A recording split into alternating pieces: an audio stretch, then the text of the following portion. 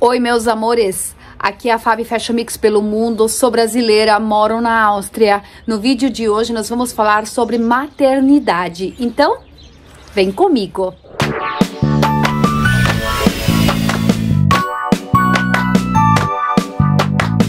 Primeiramente, sejam todos muito bem-vindos para mais um vídeo. Se você é novo por aqui, se você é nova por aqui, eu te convido com muito carinho. Fiquem aqui com a gente, se inscrevam no canal, ativem o sininho para vocês não perderem mais nenhum vídeo e também deixem o seu like, meus amores, deixem o seu gostei. Hoje eu quero compartilhar com vocês a minha experiência. Eu sou mãe de duas crianças, o meu príncipe Arthur, ele nasceu no Brasil e a minha princesa Annabelle nasceu aqui na Áustria. Então eu quero contar para vocês as diferenças, aquilo que eu pude sentir, aquilo que é positivo aqui na Áustria, aquilo que é negativo. Inclusive eu recebo frequentemente mensagens de brasileiras de mulheres que estão aqui na Áustria, que estão vindo morar para cá, algumas já estão grávidas e existem aquele certo receio, como que vai ser tudo isso num outro país? Como é que vai ser tudo isso se eu não falo a língua? Então eu quero compartilhar com vocês aquilo que eu vivi, aquilo que eu senti. Então o meu Arthur, ele nasceu no Brasil, porém eu tive todo o acompanhamento até o sétimo mês aqui na Áustria. Quando estava no início do sétimo mês, eu fui para o Brasil e meu Arthur nasceu lá, justamente justamente porque eu não queria um parto normal. Então, assim, eu sempre tive um receio de parto normal. Eu sempre tive medo. Essa é a verdade. Eu sempre tive medo, porque eu tenho duas irmãs e uma delas ela sofreu muito para ter um parto normal e a outra ela entrou em parto e não conseguiu ter um parto normal e teve que ir assim para cesárea nas pressas. Então, isso era algo que eu já carregava comigo desde muito cedo, então eu não queria um parto normal. Eu sempre disse pro Marcos: "Não, eu não quero ter parto normal, eu quero ter cesárea". E o que que acontece? Eu engravidei aqui na Áustria e a médica que fez todo o pré-natal, a médica que fez todo o acompanhamento, não é a médica que vai estar lá no dia do parto. Aqui na Áustria, a gente faz o acompanhamento numa clínica como também no Brasil. Porém, esses médicos que fazem o acompanhamento nas clínicas não são os médicos que vão estar no hospital naquele dia, na hora do parto. E isso era algo que também já me deixava um pouco insegura. Eu pensava assim comigo: meu Deus, essa médica ela sabe que eu não quero parto normal e ela vai me encaminhar e vai que eu entro num parto normal e o médico que tá ali, ele não sabe, ele não conhece a minha história, ele, talvez ele não vai dar nem ouvidos para mim me explicar e eu vou ter aquele medo dentro de mim, então eu não quero passar por isso. E esse foi o grande motivo que eu fui pro Brasil ter o Arthur e eu não me arrependo disso. Por quê? Porque no Brasil a gente já tem um médico da família, um médico que já sabe, já conhece né, todo o histórico das minhas irmãs. E esse mesmo médico, eu tive o meu filho. O meu Arthur nasceu no Paraná, na cidade de Marechal Cândido Rondão. Um médico maravilhoso, Dr. Campos é o nome dele. E quando eu cheguei no Brasil, eu expliquei para ele toda a minha situação. Eu disse para ele, olha, eu fiz todo o meu pré-natal na Áustria, levei tudo daqui para lá né, aquele Mutas Paz que você ganha aqui na Áustria, onde eles colocam tudo dentro, né, todo o acompanhamento do mês por mês e levei isso para ele e dei continuidade nesses últimos dois meses no Brasil. E realmente eu entrei em parto, o Arthur rompeu a bolsa e eu não senti nada. E eu fui pro hospital e tive uma cesárea e graças a Deus deu tudo certinho, assim como eu desejei, assim como eu sonhei, assim como eu determinei aconteceu. Então, a força do pensamento, a fé em Deus faz acontecer. Esse é um dos pontos que vocês podem ter certeza. Então, sempre orem, sempre orem, peçam para Deus preparar o um momento. Então, deixa eu contar para vocês mais um pouco daquilo que aconteceu aqui na Áustria comigo. Esse foi o grande motivo que eu fui pro Brasil, porque eu já escutei muito aqui na Áustria, ah, eles não fazem cesárea. Eles fazem cesárea somente em casos extremos. Ah, eles só fazem cesárea se realmente precisa, se não tem como. E sim, aqui eles optam, eles preferem que a mulher tenha parto normal. Eu acho isso também, por um lado, muito bom, só que por um outro lado, eu acho que isso parte muito da pessoa. Se você já tem um certo medo, um certo trauma, é muito difícil você entrar em parto e você carrega aquilo contigo. Pode ser que você vença aquilo ali, né? Com muito sucesso, mas pode ser que isso seja um obstáculo que vai te traumatizar. Eu conheço pessoas que realmente traumatizaram, que não querem mais crianças. Eu conheço uma mulher aqui na Áustria, ela teve parto normal, ela sofreu muito, muito, muito mesmo, e ela não quer mais filhos. Ela disse, mas nem pensar que eu vou sofrer tudo isso de novo, por mais que hoje meu filho tá ali, ele é lindo, ele é saudável, mas eu carrego esse medo comigo porque eu sofri demais. Então pode acontecer. Claro, existem causas que as mulheres superam, que o parto não é tão difícil e que teriam olha, assim, se tivessem cinco filhos ou dez filhos, todos eles nasceriam por parto normal, porque a pessoa tem uma facilidade também e, sei lá, ela tá preparada psicologicamente para isso dali.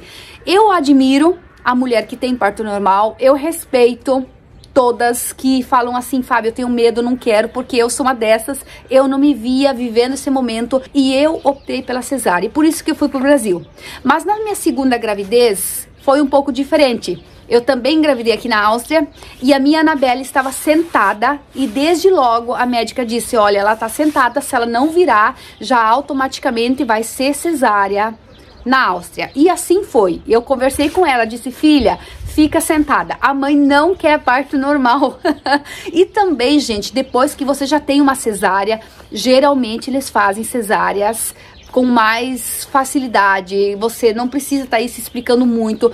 Eles já pedem para você, porque tu já tem uma cesárea. Eles realmente avaliam tudo isso. E o que que aconteceu? Dia 28 de 5 de 2018, eu fui pro hospital aqui na Áustria, em Bludenz, e eles olharam e realmente ela continuou sentadinha e eles fizeram a cesariana e foi muito bom, foi muito tranquilo, foi uma experiência maravilhosa que eu tive aqui quanto no Brasil. Fábio, mas conta pra gente quais são as diferenças de ter um neném na Áustria e de ter um neném no Brasil? O que, que é melhor, o que, que é pior, o que, que você acha?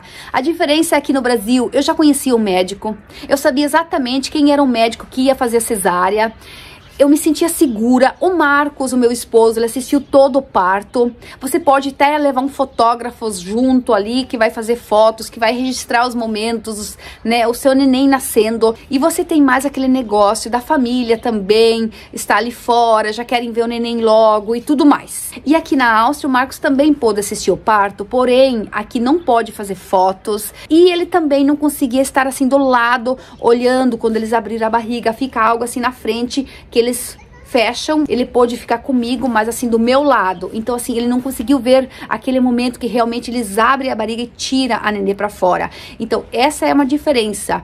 E também, a gente não conhecia o médico, a gente não sabia quem que ia fazer a cesárea. Até hoje, eu não conheço o médico que fez a minha cesariana, gente. Eu lembro que eu conversei com ele, ele veio depois disso falar comigo, né, lá no quarto, tudo, mas eu não conheço ele. Ele não era um austríaco, era um alemão que trabalhava aqui na Áustria, no hospital em Bludenz. Ele estava de plantão e foi ele que fez a cesárea. Então, existe essa diferença muito grande. Você não sabe quem é o médico, mas foi tudo maravilhosamente bem. Eu me senti muito bem, eles me trataram muito bem. E agora eu quero contar para vocês toda aquela parte da amamentação, os primeiros cuidados, o primeiro banho, aquela parte toda delicada pós-parto. Que sim, que eu preciso falar para vocês que eu me senti muito acolhida aqui na Áustria. As enfermeiras são maravilhosas, são Olha, de verdade, elas foram uma mãe para mim, porque a minha mãe não pôde estar aqui comigo.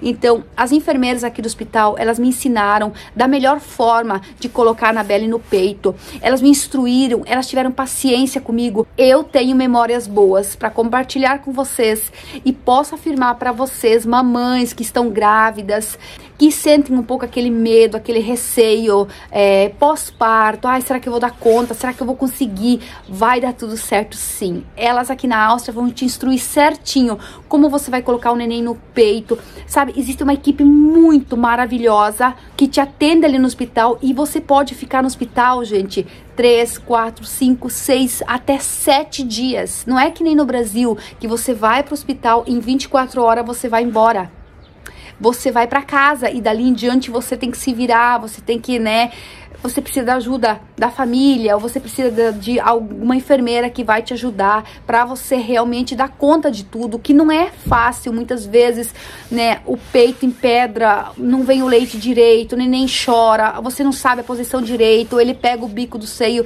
não pega direito. E nossa, não é fácil. Mas essa é uma parte que vocês podem ficar super tranquilas se vocês estiverem aqui na Áustria. E aqui a minha vizinha do lado da minha casa, eu vou deixar uma foto aqui na tela, tem a cegonha na frente, nasceu um neném faz um mês aqui do lado de casa, um piazinho, coisa mais fofa, ele nasceu de parto normal, ela ficou 17 horas em parto e deu tudo certo, graças a Deus, e ela ficou no hospital seis dias, seis dias, gente. Seis dias e teve um parto normal. Assim, eles te perguntam, você quer ficar quantos dias? Depois do terceiro dia, do quarto dia, eles vêm e eles te perguntam, você quer ficar mais quantos dias? Quer ficar mais um dia? Quer ficar mais dois dias? E aqui também eles te ensinam, você dá o banho na criança, eles te ajudam a amamentar, a tudo, gente. Você, você realmente é mimada no hospital. Algo que eu amei demais aqui na Áustria, que assim, eu me senti muito acolhida aqui no hospital. Não que no Brasil eu não me senti acolhida, mas no Brasil o médico médico foi maravilhoso, como eu falei para vocês, as enfermeiras também no hospital me atenderam super bem, só que em 24 horas eu saí daquele hospital, eu fui para casa, dali para frente foi a minha mãe, as minhas irmãs que me ajudaram. E elas compartilharam comigo a experiência delas. E isso aqui na Áustria é diferente, por quê? Porque você é instruída por profissionais que lidam com isso todos os dias. Porque cada um carrega suas experiências, cada um carrega o seu jeitinho. Às vezes aquilo que funciona para mim não funciona para você. Então muitas vezes Teve situações que minha irmã dizia para mim, olha, eu fazia assim, para mim assim funcionava, e isso para mim não funcionava. Outra coisa, aqui você não precisa levar roupinha para o hospital. Tem as roupas do hospital, as fraldas do hospital, tudo você ganha no hospital. Você pode pedir para eles colocar a roupinha que você leva de casa, você até pode, mas eles preferem que você usa as roupinhas do hospital porque daí não mistura os cheiros. Você não precisa levar nem pijama para você, você ganha tudo. Você não precisa se preocupar em levar nada para maternidade, mas nada mesmo, nem uma fralda, gente. Você ganha tudo tudo. A minha Anabelle ganhou tudo. As primeiras roupinhas que a minha filha usou foram as roupinhas do hospital, as fraldinhas. Olha, aquele tampão que a gente coloca assim no seio para não vazar o leite. Tudo isso eu ganhei dentro do hospital tudo. Eu fui muito bem acolhida e eles te ensinam, eles te instruem, eles te ajudam em tudo. Por isso que é sempre muito válido você saber falar a língua. Mais uma vez eu volto a falar isso para vocês.